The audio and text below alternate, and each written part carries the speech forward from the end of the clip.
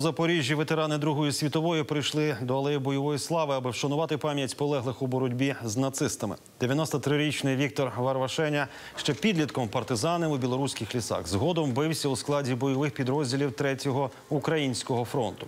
Війну завершив після поранення у Прибалтиці. Полковник у відставці твердить, ніколи не міг навіть уявити, що Росія піде війною на його країну. Россия, которая, казалось бы, все во всех и в газетах, и в журналах везде писали братские народы, и вдруг та страна под руководством, ну, я бы сказал, маньяка, напала на нашу родную Украину. Я очень сожалею, что вот возраст мне не позволяет принимать участие в этой войне. Ветеран певнить, його побратими з Росії, з якими він зв'язувався телефоном, так само ошелешені тим, що робить їхня країна. Бо ж своїми звірствами окупанти перевершили навіть німецьких нацистів.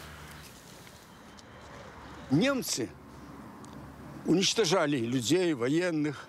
Было зверство, тоже проводили. Но такие зверства, которые мы сейчас видим, такого не было. Немцы э, так не разрушали города, как разрушают города сейчас.